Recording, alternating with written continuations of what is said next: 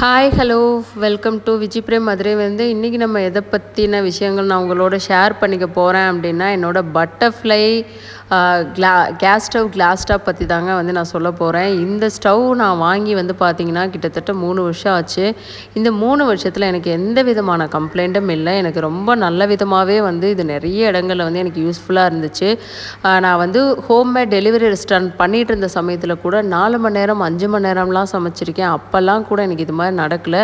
நான் பண்ண ஒரே ஒரு சின்ன மிஸ்டேக்னால தான் என்னோட கிளாஸ் டாப் வந்து சுத்தமாக அப்படியே சுக்கு நூறாக உடஞ்சிருச்சு.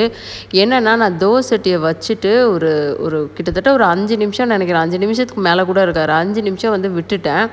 அதுக்கு பின்னாடி வந்து பார்த்தா தோசை சட்டிலேருந்து புகை வர ஆரம்பிச்சிருச்சு. நான் அந்த செகண்ட் நான் என் தோசை சட்டியை பற்றி தான் யோசிச்சேனே தவிர நான் அடுப்பை பற்றி யோசிக்காமல் விட்டுட்டேன் நான்.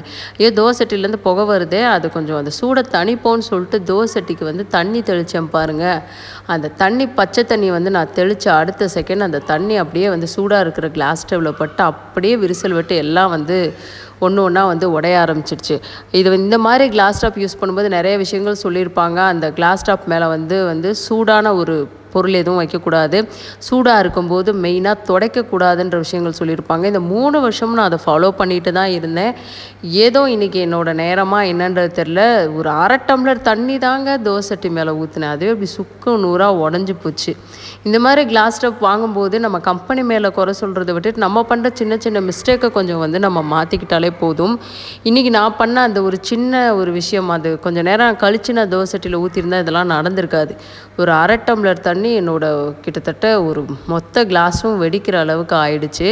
கஸ்டமருக்காருக்கு கால் பண்ணேன். அவங்க வந்து மேலே இருக்கிற கிளாஸ் டாப் மட்டும் மாற்றிக்கலாம் நாங்கள் வந்து செக் பண்ணிவிட்டு ஒரு டூ டூ த்ரீ டேஸில் வந்து மாற்றி கொடுக்குறோன்னு சொல்லியிருக்காங்க. இந்த மாதிரி கிளாஸ் டாப் நீங்கள் யூஸ் பண்ணும்போது சின்ன சின்ன விஷயங்களை ஃபாலோ பண்ணாலே நம்மளோ நம்மளோட கிளாஸ் டாப் வந்து பார்த்திங்கன்னா ரொம்ப நல்லாயிருக்கும் என்ன பண்ணுறது உடஞ்சிச்சு எல்லாம்.